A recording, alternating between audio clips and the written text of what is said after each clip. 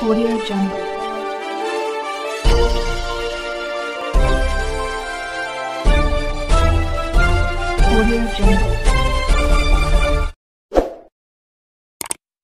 ಅರವತ್ತೇಳನೇ ಕರ್ನಾಟಕ ರಾಜ್ಯೋತ್ಸವದ ಅಂಗವಾಗಿ ಶಿರಹಟ್ಟಿ ವಿಧಾನಸಭಾ ಕ್ಷೇತ್ರದ ಮಾಜಿ ಶಾಸಕರಾದ ಜಿಎಸ್ ಗಡ್ಡದೇವರಮಠ ರವರ ಲಕ್ಷ್ಮೇಶ್ವರ ನಗರದ ನಿವಾಸದಲ್ಲಿ ಅವರ ನೇತೃತ್ವದಲ್ಲಿ ಲಕ್ಷ್ಮೇಶ್ವರ ಬ್ಲಾಕ್ ಕಾಂಗ್ರೆಸ್ ಹಾಗೂ ಲಕ್ಷ್ಮೇಶ್ವರ ನಗರ ಕಾಂಗ್ರೆಸ್ ಸಮಿತಿಯ ವತಿಯಿಂದ ಅಧ್ಯಕ್ಷರು ಹಾಗೂ ಪದಾಧಿಕಾರಿಗಳು, ಕಾರ್ಯಕರ್ತರು ಸೇರಿ ಕರ್ನಾಟಕ ರಾಜ್ಯೋತ್ಸವವನ್ನು ಆಚರಿಸಲಾಯಿತು.